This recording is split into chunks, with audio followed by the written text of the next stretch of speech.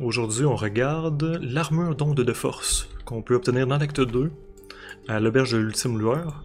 Dans le fond, vous allez venir, euh, vous rentrer dans l'auberge de l'ultime lueur et vous venez à la forge de Damon. Vous allez monter les escaliers ici et euh, venir euh, chercher un coffre ici, le coffre rustique.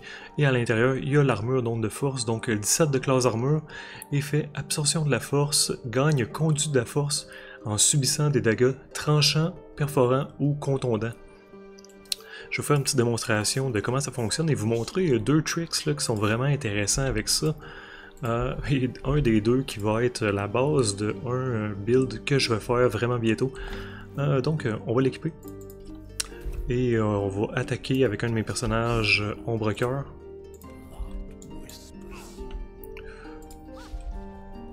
On va essayer de l'attaquer. Bon. Et là, elle vient de prendre des dégâts. Et vous pouvez voir qu'elle a maintenant deux stacks de conduit de la force. Et si je l'attaque à nouveau,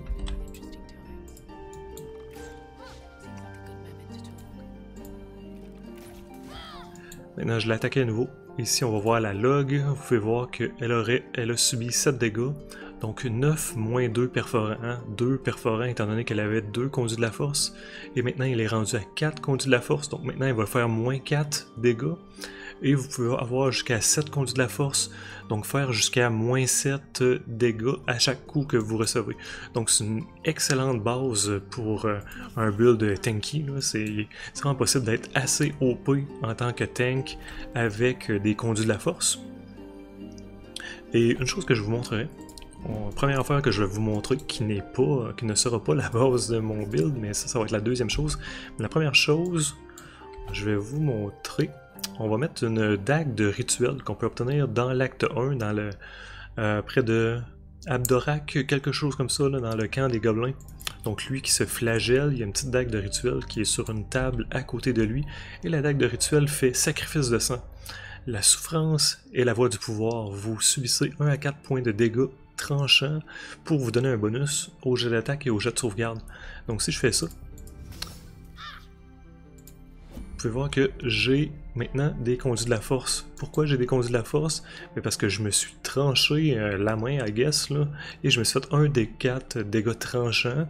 Et on a dit ici que l'armure, ben, elle va trigger si vous recevez des dégâts euh, tranchants, perforants ou contondants. Donc euh, ça compte. Se faire des dégâts nous-mêmes compte pour euh, trigger des conduits de la force. Donc vous pourriez très bien vous faire ça, des sacrifices de sang avant de commencer le combat, pour commencer le combat avec plein de conduits de la force, pour avoir, pour recevoir beaucoup moins de dégâts, même à partir du tour 1. Donc ça c'est la première chose que je voulais montrer qui est intéressante, mais la deuxième chose que je veux montrer est encore vraiment plus OP. Et je vais commencer par euh, me faire quelques stacks. On se monter des stacks, allez.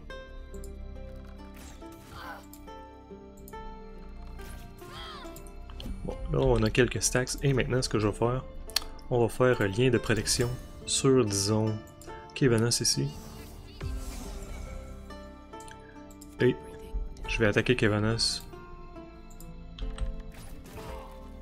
Et là, vous pouvez voir des zéros.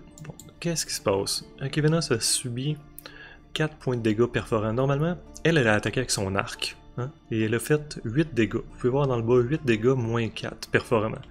Pourquoi moins 4 Parce que elle, elle a fait euh, lien de protection sur Kevanos. Donc ça réduit ses dégâts de 50%. Et ça fait que Ombrecoeur va maintenant recevoir la balance des 50% de dégâts que Kevanos était supposé recevoir. Donc on a, on a euh, diminué ses dégâts de moitié, il a reçu 4 et elle, elle a reçu 0. Mais pourquoi? Pourquoi elle a reçu 0 C'est parce que les dégâts qu'elle a reçus, euh, les dégâts qu'elle a reçus sont des dégâts perforants et que les, euh, les conduits diminuent les dégâts qu'elle reçoit quand c'est des dégâts euh, perforants, contondants ou tranchants. Donc euh, c'est le type de dégâts qui est infligé à la cible qui a le lien de protection est quand même transféré au caster de lien de protection.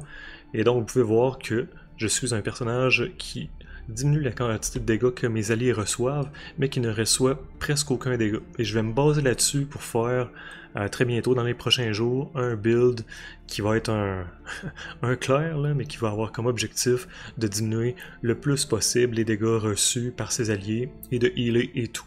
Merci d'avoir écouté, à la prochaine.